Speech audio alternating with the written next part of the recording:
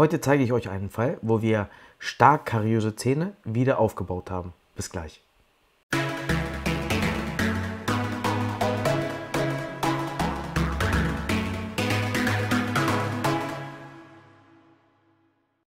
Hallo und herzlich willkommen zu diesem Video. Ich begrüße euch. In diesem Video möchte ich euch gerne einen Patientenfall zeigen, wo wir stark kariöse Zähne gesäubert haben, von Karies entfernt haben und dann wieder aufgebaut haben. Äh, so aufgebaut haben, dass wir diese Zähne dann später mit Zahnersatz versorgen und andere Zähne haben wir dann so aufgebaut, dass die dann auch mit einer Füllung verbleiben können. Zu diesem Fall möchte ich sagen, das ist ein Patient, den wir an zwei Tagen komplett saniert haben. Also wir haben sozusagen diese Vorbehandlung, ich nenne es mal Vorbehandlung, Füllungsvorbehandlung bei uns in der Praxis an zwei Tagen gemacht. Das war ein Dienstagnachmittag vier Stunden und ein Mittwochvormittag. Das ging fast knapp fünf Stunden, also vier Stunden 50 hat diese zweite Sitzung gedauert. Also wir sind bei knapp neun Stunden Behandlungszeit gewesen, wo wir diese Füllungen wieder aufgebaut haben. Zusätzlich haben wir bei diesem jungen Patienten eine Revision an einer Wurzelfüllung gemacht und zum Schluss haben wir noch eine Prophylaxe gemacht, nachdem alles fertig gewesen ist. Warum haben wir die Prophylaxe zum Schluss gemacht und nicht zu Beginn? Bei den Patienten haben wir nicht viele weiche Belege gehabt und wenn wir an irgendwelchen Zähnen Belege hatten, haben wir das Ultraschall dabei gehabt und dann haben wir jeden einzelnen Zahn für sich sozusagen vorher bereits sauber gemacht. Aber nachdem wir komplett fertig gewesen sind, haben wir dann nochmal eine richtige PZR-Prophylaxe gemacht mit Ultraschall, Subgingival und anschließender Politur. Dieser Patient ist aus einer Entfernung von fünf Stunden Fahrzeit zu uns hergefahren wie gesagt, an zwei Tagen behandelt. Schöne Grüße gehen raus und dann zeige ich euch jetzt die Fotos. Gehen wir zum ersten Foto über.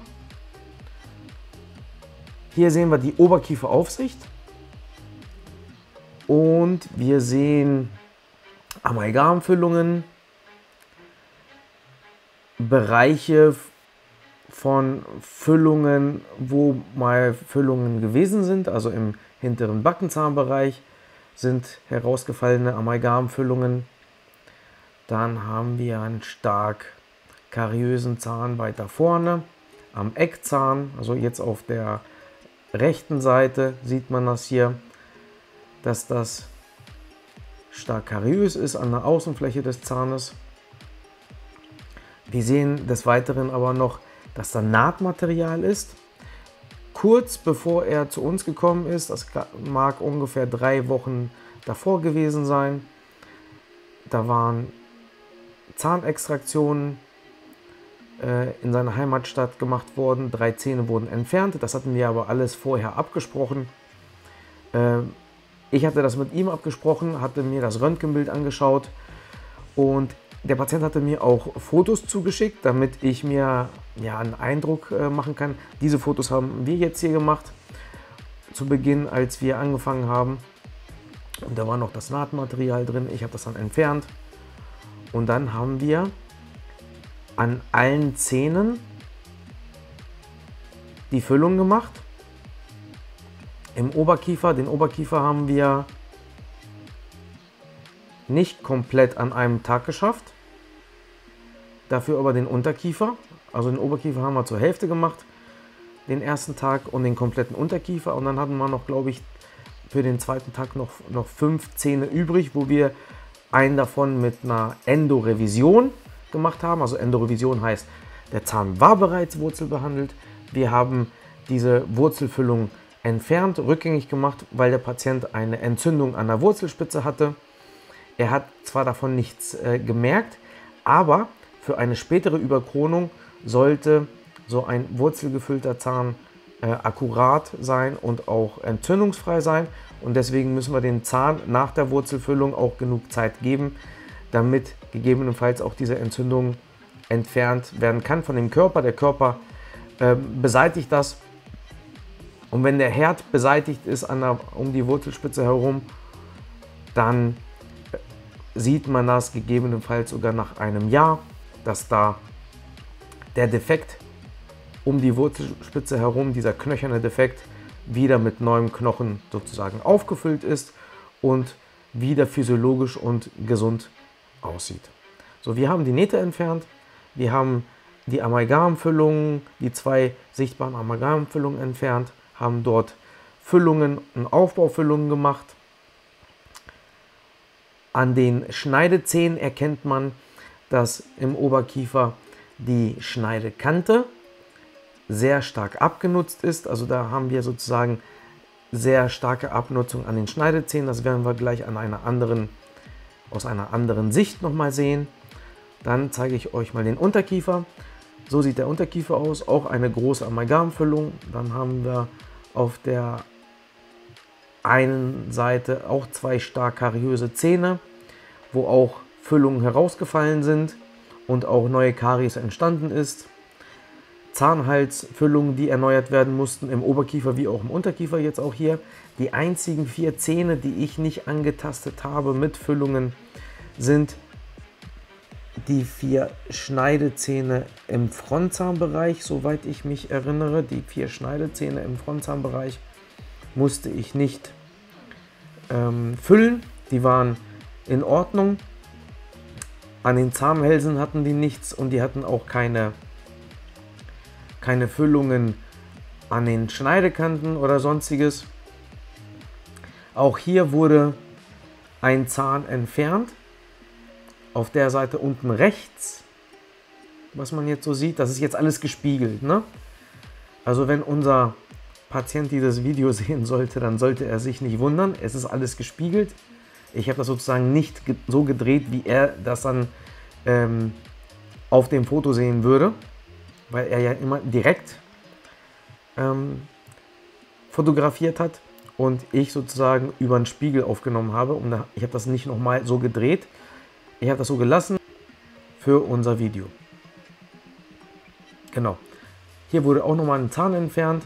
Die hinteren Füllungen haben wir auch entfernt, wo ja provisorisches Material drin war. Das ist so eine, so eine Art Zement-Kunststoffmischung, Glasionomer-Zement genannt. Das ist nicht für definitive Füllung geeignet, das Material. Das ist nicht freigegeben von den Herstellern. Dann zum nächsten Foto. Hier sehen wir die, die Frontalansicht der Zähne. Wir sehen die stark abgenutzten Schneidezähne.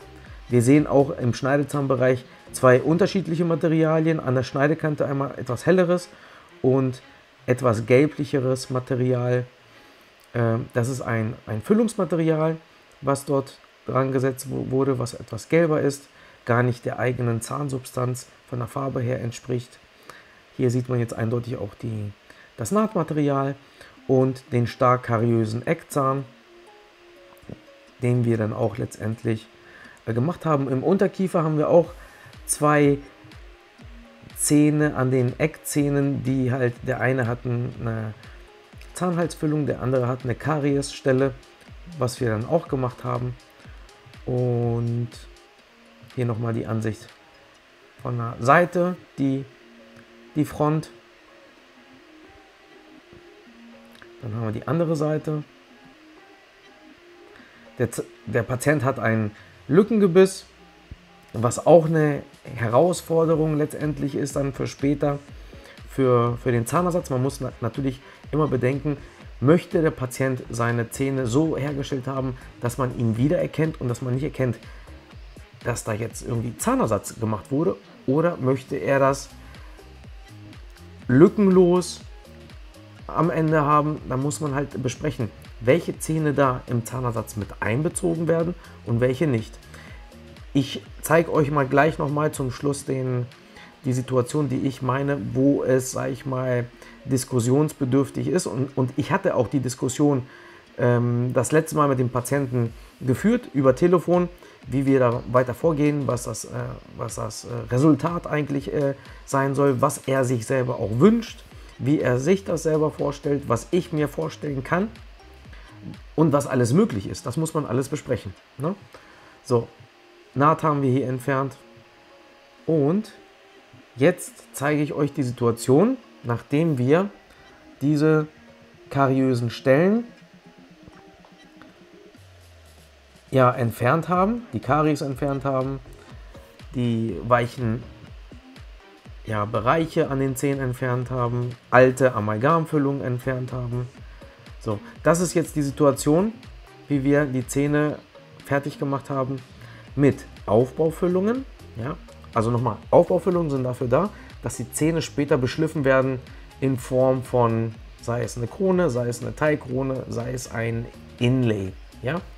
So, ähm, dann haben wir Füllungen gemacht, definitive Füllungen, die dann auch so verbleiben können. So, angedacht ist jetzt im Oberkiefer, dass wir festen Zahnersatz machen. Das ist gut möglich, weil die Lücken relativ begrenzt sind. Ja, das heißt, auf seiner linken Seite fehlt ein Zahn, da könnte man eine Brücke anfertigen. So, und auf, seiner, auf der rechten Seite äh, fehlen zwei Zähne, der Zweier und der ja, Vierer, Fünfer. Auf der Seite fehlt ein Zahn, also ein kleiner Backenzahn. Da muss früher irgendein zweiter Backenzahn gewesen sein, außer der Zahn war gar nicht angelegt. So. Es würden sozusagen auf seiner rechten Seite zwei Zähne dann reingemacht werden können in Form von einer Brücke. Allerdings haben wir natürlich dann keine Lücken mehr, wenn, wenn wir eine Brücke anfertigen. Und die Lücke für den Zweier, also im Schneidezahnbereich, wo der Zweier ist, die, die Lücke ist ziemlich breit. Also muss man sich Gedanken machen, möchte ich gerne symmetrisch, aussehen oder möchte ich asymmetrisch aussehen. Ja? Und das würde dann ganz blöd rüberkommen, wenn man dort eine Brücke anfertigt. Das ist jetzt meine Meinung. Was wäre jetzt in diesem Falle besser? Man könnte gegebenenfalls, wenn man sagt, ich möchte unbedingt eine Brücke machen, haben, bekommen, dann wäre es eher angedacht, wenn man dann die anderen Zähne auf der anderen Seite, die Schneidezähne, auch mitnimmt und die dort dann auch überkront und die Lücken verschwinden lässt. Ja? Alternativ, wenn man sagt, nee, ich möchte aber die anderen Zähne nicht machen lassen, dann ginge zum Beispiel mit Erhalt der einzelnen Lücken am besten, am besten das Implantat mindestens im Schneidezahnbereich, im Bereich des Zweiers vorne. Ja, dann würde man dort ein Implantat setzen können, wo die einzelne Krone nach links und nach rechts zu den Nachbarzähnen einen gewissen Abstand hat, also eine Lücke entsteht und dann würde sich das insgesamt gut einfügen ins Gesamtgebilde. Genau, aber im Großen und Ganzen war angedacht, was Festsitzendes ohne Implantate. Aber die Diskussion hatten wir schon bezüglich Implantat oder nicht Implantat. Und da sind wir noch am Diskutieren. So, dann haben wir den Unterkiefer. Hier haben wir den Unterkiefer aufgebaut, Zahnhälse erneuert, Füllung erneuert, Karies entfernt, äh, Amalgamfüllung entfernt und Aufbaufüllung reingemacht. Im lückenbegrenzten Bereichen, da wo die Lücken vorhanden sind, wo die Zähne fehlen, an den Zähnen habe ich auf jeden Fall Aufbaufüllungen gemacht, weil dort, wie gesagt, angedacht ist, dass da Brücken oder sonstiges hinkommen. Wir werden das aber alles abheilen lassen, in Ruhe, dass auch die knöchernen Defekte zugehen nach der Zahnextraktion und wir dann zu einem späteren Zeitpunkt schauen, wie, die, wie sieht die Situation aus. Äh, macht es Sinn, Kronen, Brücken in dem Bereich anzufertigen oder möchte der Patient doch noch das mit Implantaten versorgen lassen, sodass dann kleinere Einheiten entstehen. Macht das Sinn oder nicht? Das werden wir noch in der nächsten Zeit klären. So, das ist dann die Frontalansicht. Mal einwirken lassen. Guckt euch das mal an. Der Biss ist natürlich ein wenig abgesenkt, dadurch schon alleine, dass die oberen Schneidezähne abgenutzt sind.